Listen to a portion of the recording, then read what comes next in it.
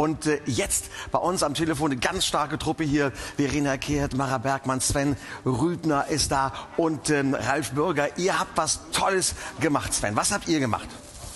Wir haben im Rahmen der Rennserie ADAC Kitty Masters ähm, ein Team unterstützt, Callaway Competition.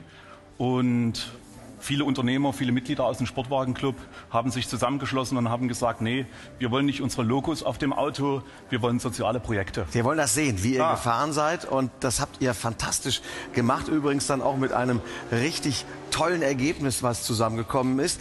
Ist das gilt ja in dieser Spendentonne drin, ja?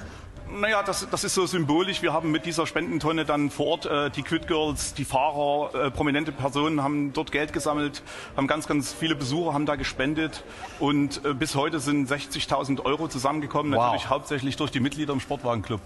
Fantastisch, da steht die Spendentonne. Dann und ich habe noch eine Überraschung. Wir würden das gerne um 5000 Euro erhöhen. Na, ist doch, bin ich doch einverstanden. Der Ralf Bürger von der Big Unternehmensgruppe würde, das, würde die Tonne gerne ersteigern und wir erhöhen auf 65. Ralf, wir sind einverstanden.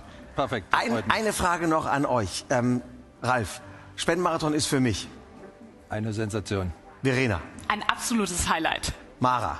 Eine Herzensangelegenheit. Schön, dass ihr da seid. Vielen, vielen Dank, Sven, an dich und dein ganzes Team. 65.000 Euro.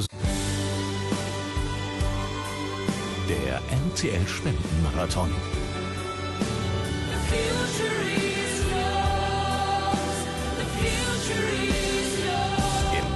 aller Kinder sagen wir Danke